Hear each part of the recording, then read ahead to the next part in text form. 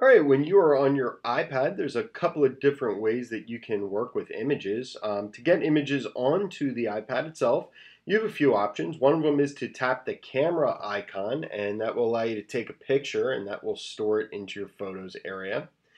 Another option is if you are browsing the web, and here I'm just going to go to our district's website, if there's an image that you would like to save from the web, you can just tap and hold on the image and then select Save Image. That will save a copy into your photo area.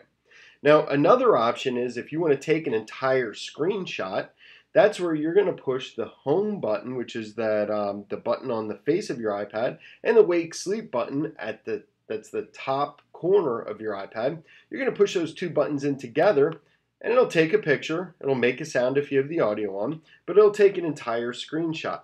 Now, to access these photos, all you have to do is tap on the photo icon and you'll notice that your photos are going to be organized into collections. They can be organized into years. You just tap to navigate in and out. Um, I'm going to go to today. So here's the images that I just put on here. So here's the MASD news. Here's one of the pictures I just saved. And then here is that screenshot. Now, at any point when you're working with your images, you could tap in the top right hand corner where it says edit and this will give you a list of tools over here on the side that you can do to enhance. You can crop, you can add some shading, you can get rid of red eye reduction if you need to. I'm just going to tap can cancel. And I also have the option in the bottom right hand corner to hit delete or in the bottom left hand corner there's the little paper with the arrow coming out of it which is your share button.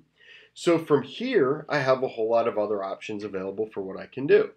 So I can actually send this into another app that I have on my device, such as Google Drive. That's a great place to put things, especially if you get a notice that you're running out of space. Chances are it's because of your images. So all you have to do is select your images and then send them over to Google Drive. They'll be stored on Google Drive and you could go back and delete them here. Um, if you ever need to email the picture or you need to send it to Canvas, you will see those apps once you have them installed on your device will be listed across here and you can just tap on those to select them.